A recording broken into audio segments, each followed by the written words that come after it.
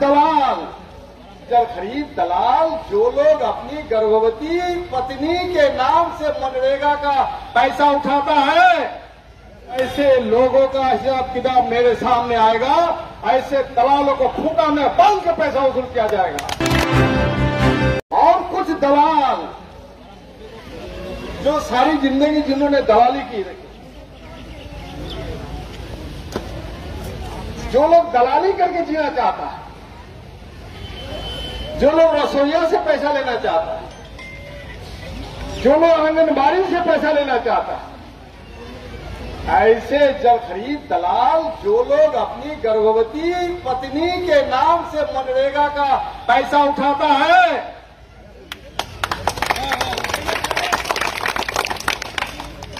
अरे तेरी बीवी मनरेगा में काम किया है? किया तो पैसा उठाओ। मेरी बीवी जो ही महबूबा मनरेगा में काम करती है तो पैसा उठाएगी। शान की बात है फकर की बात है। अरे मजदूरी क्यों नहीं करेंगे लोग? मजदूरी करना कोई अपमान की बात है, इज़्ज़त की बात है? दलाली करना इज़्ज़त की बात नहीं है। रसोइया से पैसा वसूल करने चाहते हो? लोगों से लाखों लाख रुपया लेके काम करने का धोखा देके धूल झोंकना चाहते हो? जिस दिन ऐसे लोगों का हिसाब किताब मेरे सामने आएगा, ऐसे दलालों को खूटा में बाँध के पैसा वसूल किया जाएगा।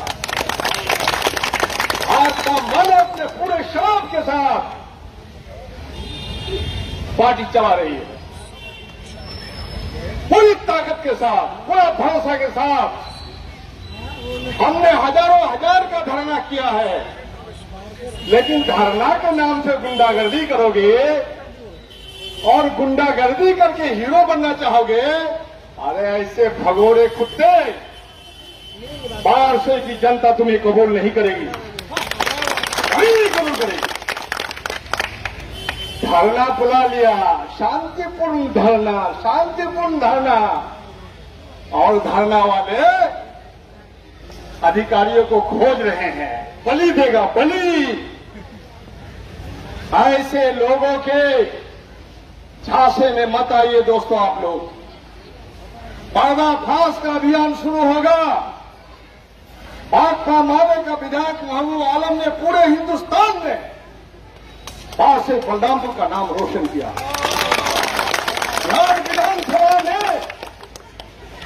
भाजपा को